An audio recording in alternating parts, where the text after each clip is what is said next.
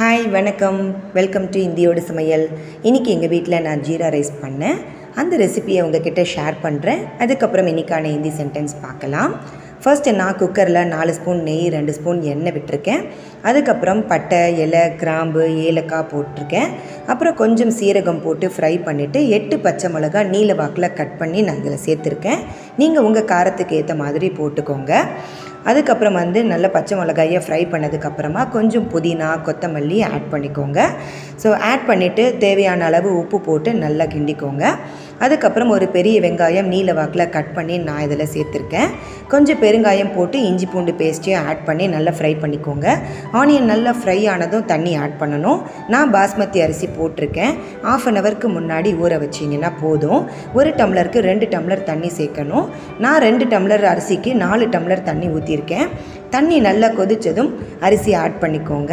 அரிசி நல்லா தண்ணி இழுத்து இந்த மாதிரி ஸ்டேஜ் வந்ததும் குக்கர் மூடி போட்டுக்கோங்க. குக்கர் விசில் போட வேண்டாம். குக்கர் கீழே தோசைக்கல் வச்சு நான் தம் போட்டிருக்கேன்.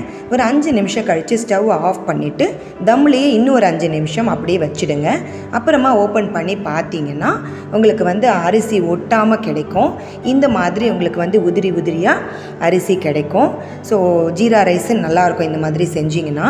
இதுக்கு சைட் டிஷ்ஷாக நான் வந்து பன்னீர் கிரேவி பண்ணேன். அந்த ரெசிபி வீடியோவை உங்களுக்கு நான் இன்னொரு நாள் போடுறேன்.